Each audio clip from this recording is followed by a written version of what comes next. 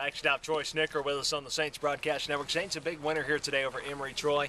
Uh, you continue to swing the bat well here heading down the back stretch of the season. Let's talk a little bit about the pitching staff and you calling uh, the pitches for this team. And, you know, it's been kind of a roller coaster ride for this staff, but for you working with them, what's working and what's got to be improved here heading into this coming weekend? Um, you know, we did some, some stuff good, stuff, some, you know, we can work on a little bit today. Um, I want Simmons really threw the ball well tonight. He came in kind of a point in the game where, you know, we were, I think, tied.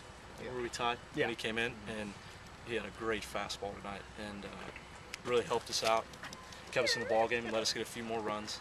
Um, you know, for the most part, everybody's been throwing pretty well. Um, you know, we know what to expect every night out of Hobby and Rickett. Yeah, they yeah. come out and, you know, um, the other guys are working and you know, we're starting to, you know, get more consistent outings out of some, some guys, especially in the bullpen with, with Simmons and, you know, Reese is throwing well. You know, he had a little rough one today, but, um, you know, guys are starting to, you know, put together some better outings. For you offensively, you really seem to be comfortable at the plate. And one of the numbers that I've been talking about all year on the broadcast network has been the number of walks that you've had at the plate. Do you feel comfortable getting ahead in the count? It looks like it's something that you really pride yourself on. And you're just finding a way to get on base any way you can.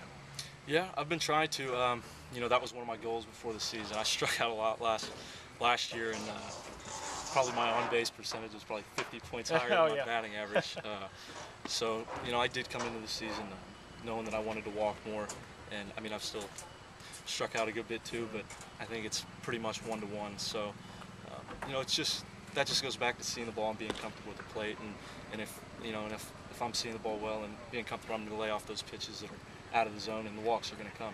All right, Troy, congratulations on a big night here and a big weekend last weekend as well against Augusta State. King College comes into town this weekend. Be sure to come out to Bob Stein Stadium. If you can't make it, we'll have all the games right here on the North Georgia Saints Broadcast Network.